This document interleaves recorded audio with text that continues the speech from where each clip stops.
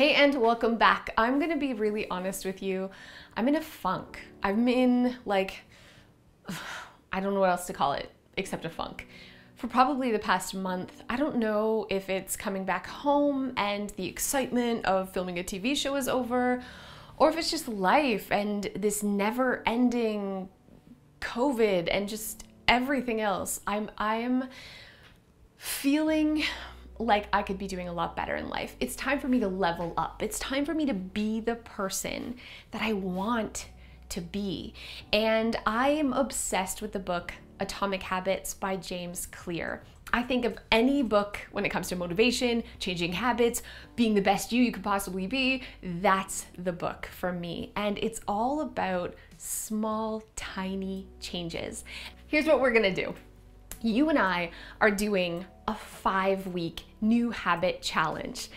You're doing this with me, whether you want to or not. Come on, come on, do it with me. I'm making my entire family do it with me. Alicia, my assistant, is doing this with me. This is gonna be really, really fun. Okay, so James Clear says success is the product of daily habits, not once in a lifetime transformations.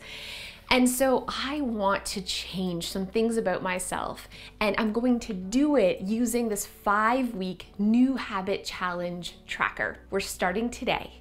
So this week, we're gonna pick a small, tiny, atomic micro habit that we're gonna do, and we're gonna do it every day for seven days. Then the next week, we're gonna add another small, tiny little baby habit while still doing the previous week's habit. So here's my habits because I've been a sloth and I've just basically I'm beating myself up about all these things and not doing these things. So it's time to take action. It's time to stop feeling sorry for myself and making excuses and do it. But in like tiny little baby steps cuz like realism. You know what I mean? They have to be realistic. So this is the hardest one. I'm starting with it. Wake up every day at 8 a.m. No matter what. I I am embarrassed to admit there are days I sleep till noon. I don't have a boss. I don't have anyone to be accountable to. And I'm certainly not setting a good example for my children. Every day, 8 a.m. So I'm going to check it off every day. Simple. Next week, I'm gonna pair a protein with every snack. I have a tendency when, especially I'm feeling sad, I'm in a funk, I am feeling sad, I grab candy or carbs, something sugary. I can still do that, but I have to pair a protein, whether it's a slice of turkey or cottage cheese or Greek yogurt or maybe some nuts. I don't know, but protein satisfies me. It keeps me feeling fuller longer and it's just better for me, right? So I'm gonna pair a protein. I can still eat whatever I want. I just have to have a protein with everything I'm putting in my mouth. Week three is 15 minutes of exercise.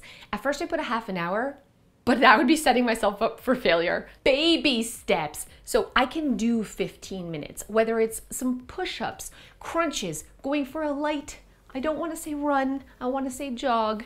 I can do 15 minutes. And week four is drink eight glasses of water. I am constantly dehydrated. I do not drink enough water. I personally think water tastes disgusting. And I know that's a weird thing to say, but I really do. I'm like a toddler. So I'm going to be drinking flavored water, but eight glasses. So I have a big old water bottle that I'm going to carry around with me and make sure that I drink two of them every day.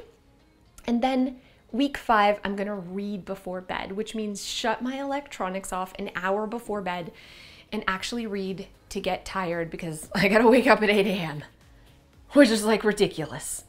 Is the sun even up at 8 a.m.? No, I'm just kidding. I mean, sometimes I see 8 a.m., but it ain't often. But, anyways, these are my five weeks, and I want you to think about what yours could be. I don't know what type of area in your life that you want to improve on, but think of tiny things that you could do, like just going outside. Just go, it doesn't even have to be for a length of time. Go outside.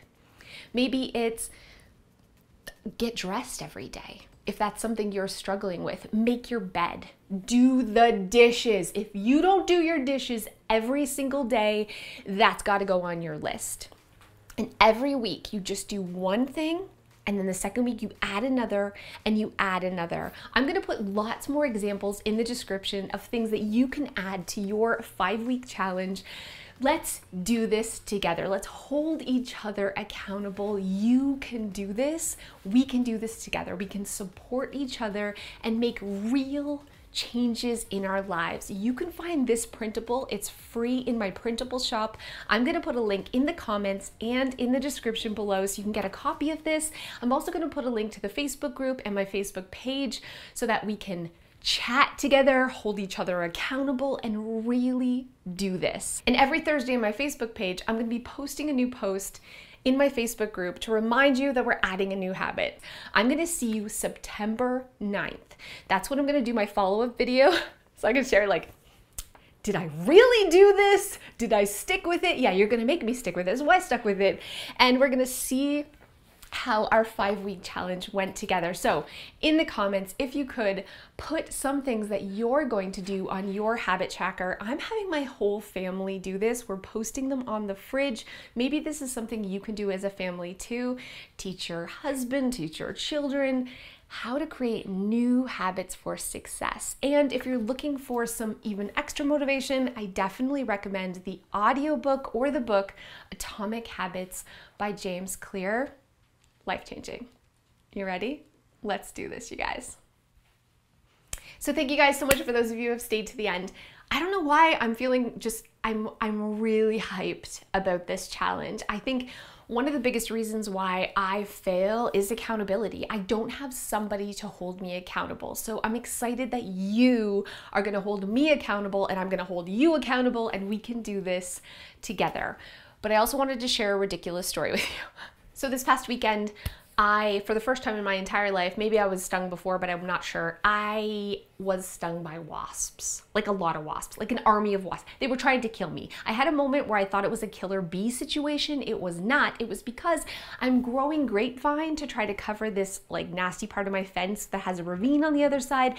And I was like training the vines to go down and I felt searing agony as I was looking down and covered like some sort of Candyman horror story with bees, which they're not bees, they were yellow jacket wasps. And they were stinging me and it hurt so bad and I was dying and I was screaming.